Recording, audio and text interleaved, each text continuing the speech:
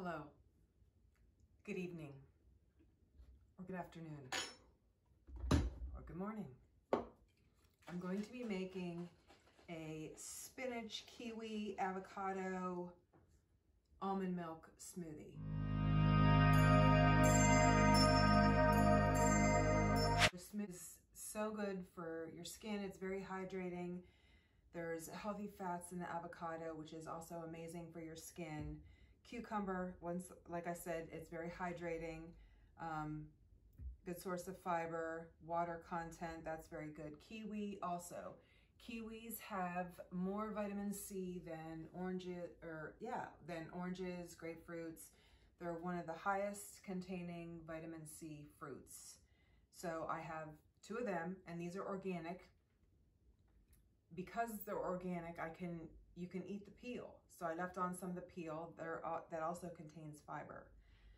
So I made, I made my own almond milk and it's very easy to make. I just added some almonds, water, and one or two dates and some vanilla syrup. Blend it up and here it is because the grocery stores have been out of almond milk. Well, they haven't been the last time I went, but I wanted to make some. It's very easy to make some, and I don't want that carrageenan in it. So it's just three ingredients. Water, dates, okay, four ingredients. Water, dates, vanilla. That's it. How simple is that?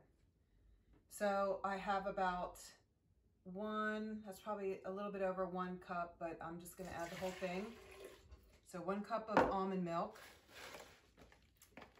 a handful of spinach, actually two handfuls, which this is loaded with iron, potassium, calcium, two peeled kiwis, and if they're organic, you can leave some peel on. I have about half of a cucumber. And then I also am using a half of an avocado. So I'm going to blend that up. Where's the lid? A few moments later. Okay, lid. I'm gonna blend that up for a minute or two. I'll be right back. And once it's done blending, ah, doesn't smell very good. I'm gonna try it.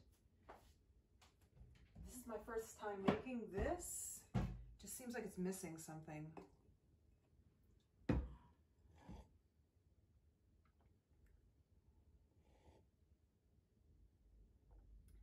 Not bad.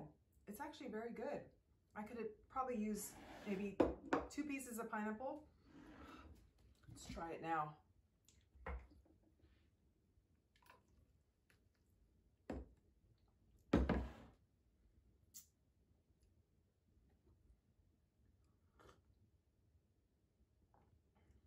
Yeah, it's better.